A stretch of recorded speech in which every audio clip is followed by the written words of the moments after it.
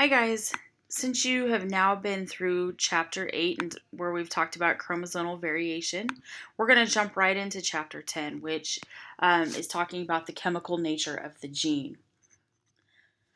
So, we're going to be talking, spending a lot of time talking about the different components that make up DNA. And just realize that that material that is associated with the DNA structure has to have four major characteristics. It has to contain very complex information in the form of our um, bases. It has to replicate very faithfully and um, on a regular basis. The genetic material must also encode the, uh, the phenotype, and it has to have the capacity to vary to um, to take on new roles as evolution plays a part in the production. So, DNA is uh, a polymer, which means that it is a structure that has various characteristics. Um, more specifically, it's going to have a structure at three different levels primary, secondary, and tertiary.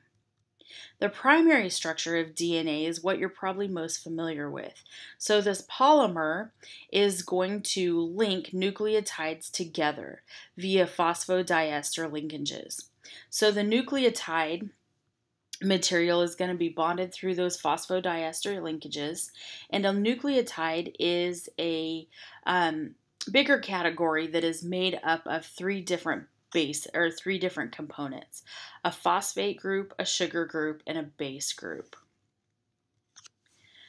So the nitrogenous bases um, are what we refer to as A, G, C, and T, and these really give the specific designation to DNA and are going to um, build that roadmap for the various processes that take place in species.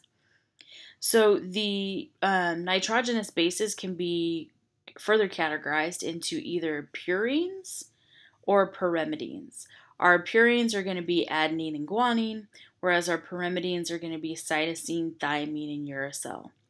Uracil is important because it is actually going to be present in RNA material, but not DNA material. So that's one clue that you have. If you look at a set of sequences and you see a U instead of a T, that, that means that you know that you're dealing with RNA and not DNA. So these bases um, look very different in structure. Our purines have a, a two ring structures, where our, whereas our pyrimidines are a simpler structure with only one ring. And our purines always are going to pair with our pyrimidines. More specifically, adenine, our purine, is going to pair with thymine, our pyrimidine. And their bonding is going to be um, or the linkage between those two nucleotides or those bases is going to occur through hydrogen bonding, but more specifically, two hydrogen bonds. So A and T are bonded by two hydrogen bonds. Uh, on the other side of that coin is um, guanine and cytosine. So, again, first of all, we know that we're dealing with DNA because we have T in the structure and not U.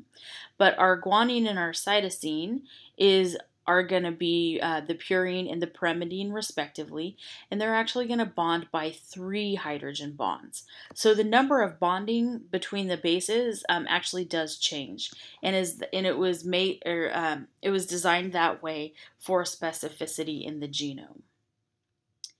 As we move towards secondary structure, we're really going to start talking about the three-dimensional configuration or the double helical structure. And the double helix is going to be a configuration that is present in an anti-parallel fashion. So each DNA strand has a 5' end and a 3' end. And they're going to be opposite of one another. So if the top of the DNA strand is a 5 prime, then the bottom of the DNA strand is a 3 prime. Okay, so keep in mind that a singular DNA strand means um, is you can visualize this by breaking the hydrogen bond. So we have one strand here and a second strand here. So that 5 to 3 prime direction actually will dictate that anti-parallel nature. So um, DNA is going to be, um, uh, is going to be in a configuration with either the 5 prime or the 3 prime um, end at the top and the opposite of that at the bottom. And then that, oops, sorry, that uh, same configuration is going to be the opposite on the opposite strand.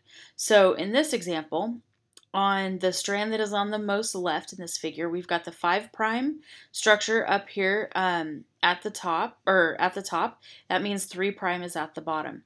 However, opposite of that, the rightmost strand starts with a 3 prime end of the DNA at the top and the 5 prime down here at the bottom. So they are anti-parallel in configuration. Keep in mind, our A's are going to bond to our T's via two hydrogen bonds, and our G's are going to bond to our C's via three hydrogen bonds. Secondary structure in uh, more of a model figure actually has this appearance. So if we look over here to the right at our first figure, we can actually see DNA in a double helix structure in a major groove and a minor groove. So the minor groove is going to be where the bases actually link together via hydrogen bonding. And as the helical structure begins to form that uh, secondary um, that secondary double helix, you are going to see um, a major groove form, which is the actual uh, rolling or twisting of the groove. And that's a little more clear in this figure to the left, where we have a uh, minor groove where bonding is taking place, and then we have a major groove, which is where the twisting is going to happen. One of the last points that I want to make really quickly is about DNA methylation. So, this process is very important um, in the ability of genes to be turned on and turned off. So, a bacteria um, is actually going to be the organism that is either adding or taking away a methane group to the DNA structure. And what um, is thought that this does from an evolutionary perspective is um, to protect the DNA from a virus attack. Methylation occurs most often on cytosine bases, and the degree of methylation is going to be very different depending on what species you're talking about. So, no methylation takes place in yeast, about 5% of total methylation takes place in animals, and 50% in plants. So, the process of DNA methylation may actually prevent the transcription process from taking place. So here on this last slide, I just want you guys to get more familiar with how DNA um, appears in a model structure. So DNA in this figure is going to be um, the green and blue structures, where the green structure is going to be our sugar phosphate backbone in a double helix form. You can kind of see it turn into a helix there. And the blue structures are going to be where the um, hydrogen or the hydrogen bonds are actually attaching the bases to one another. And then this red and orange confetti like material on the outside of the DNA structure, those are proteins, different types of proteins. So the proteins are going to be tightly associated with the DNA material at all times. So it could help with structure, stability, or it could be so that those proteins are in close proximity when it gets the signal to go through cell reproduction or um, uh, transcription and translation or DNA replication as well.